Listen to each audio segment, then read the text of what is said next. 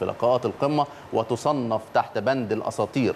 لكن عندنا مؤمن زكريا في 10 مواجهات قمة بين الأهلي والزمالك قدر النادي الأهلي يفوز في وجود مؤمن زكريا ست مواجهات وتعادل الفريقين مواجهتين وهزيمتين من نادي الزمالك. لكن الكابتن مؤمن زكريا كان بمعدل كل مباراتين بيسجل هدف خمس أهداف في 10 مواجهات. زي ما قلت لحضراتكم أساطير أساطير موجودة في أندية أخرى تقريبا تسجيلها للأهداف يعني ممكن هدف أو هدفين بالكثير طبعا. يا أحمد أنا بستغرب لما حد يجي يعلق عن أبرز الغيابات في فريق منافس ويجيب لاعب كل تاريخه هدف في النادي الأهلي ويقول غياب الأسطورة الزملكاوية كذا. حاولنا نعمل إحصائية لقينا الإحصائية هتبقى فاضية تقريبا ما فيهاش حاجة فقلنا نذكرها لكم كده وإحنا بنتكلم.